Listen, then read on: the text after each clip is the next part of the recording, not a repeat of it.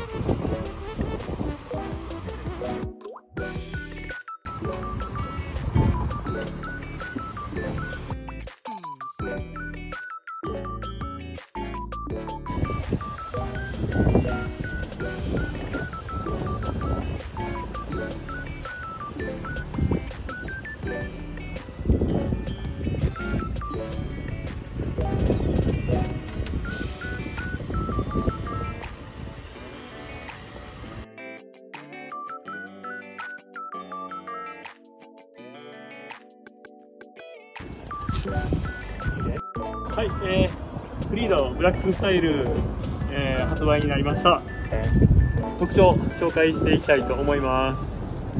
はい。まずフロントこちら、えー、左側普通のフリードですけどはい横並べてみてこれ分かりますかね。はいまずえっ、とグリル。はいブラックスタイル特別装備8つあります8つ。8個ありましてまず1つ目フロントグリル、えー、ダーククロムメッキと,、えーと、マットグレーの特別なフロントグリルがつきます。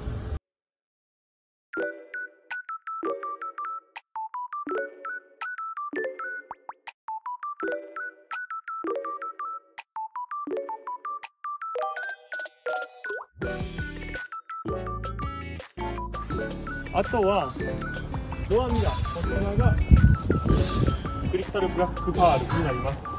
同じくアウタードアハンドルこちらも、えー、クリスタルブラックパールになります。はい。あとはアルミホイル。こちらも、えー、ブラック塗装のホイールになっております。はい。あとは後ろの LED ハイマウントストップランプ。こちらがクリアタイプ普通のフリードがね見てもらったら分かると赤いこう赤いのが、えー、クリアタイプになります。はい。あとはこちらですね。リアライセンスガーニッシュ。こちらがダーククロムメッキ。はい。ちょっとこう黒っぽい黒っぽい高級感のメッキになっております。はい。あとは室内でいくと